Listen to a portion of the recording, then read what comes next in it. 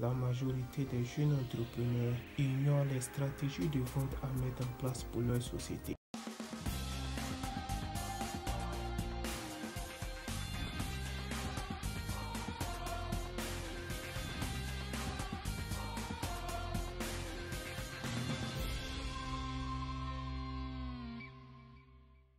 Salut à tous, c'est Ahmed Fadia.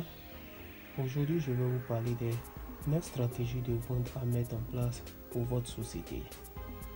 La première stratégie, bien accueillir votre clientèle. C'est l'une des règles de base du commerce. L'accueil de votre clientèle est très important. Accueillez vos clients avec un joli sourire, sincère leur feront revenir dans votre boutique. Si vous êtes sympathique avec eux, ils en parleront à leurs proches, à leur famille et amis. La seconde stratégie, développer votre clientèle et vos ventes. Si vous voulez avoir un business qui se développe, vous avez deux solutions. L'une est de développer votre clientèle par la bouche à oreille, les connaissances et les publicités. L'autre est que vos clients achètent davantage de produits et donc vous serez obligé d'augmenter leur panier d'achat. Sachez qu'il est facile de vendre plus à un client existant qu'à un client qu'à un nouveau client. La troisième stratégie, augmenter votre chiffre d'affaires. Plusieurs solutions s'offrent à vous pour augmenter votre chiffre d'affaires. Vous pouvez faire des animations commerciales dans votre point de vente. Si vous exercez un business sur Internet, vous pouvez ajouter de nouveaux produits à votre catalogue. Augmentez vos profits en augmentant vos prix. Vous pouvez aussi faire des ventes flash ou encore des promotions. Ces actions développeront sans cesse, votre business. N'hésitez pas à vous faire connaître par le biais de la publicité et de la bouche à oreille qui est la meilleure des publicités.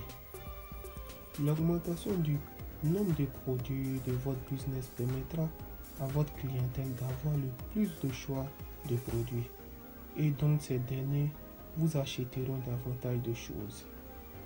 La quatrième stratégie fait de la vente en masse.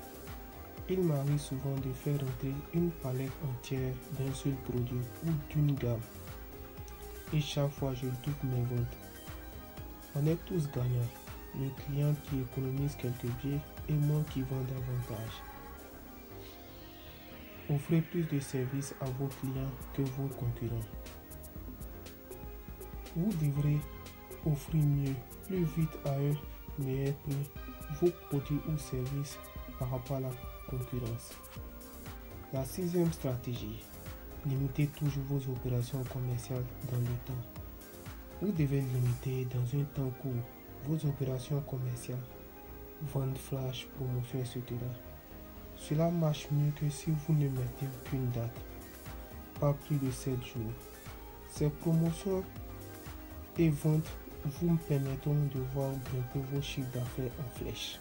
Septième stratégie, communiquer sur votre lieu de vente. Cela s'appelle la publicité sur le lieu de vente. Elle sert à booster vos ventes tout en faisant découvrir de nouvelles, de nouvelles gammes de produits à vos clients. Huitième stratégie, la fidélisation de votre clientèle. D'après la loi de Pareto, 20% de votre clientèle réaliseront 80% de votre chiffre d'affaires. Alors la fidélisation de cette clientèle sera primordiale pour le bon fonctionnement de votre entreprise.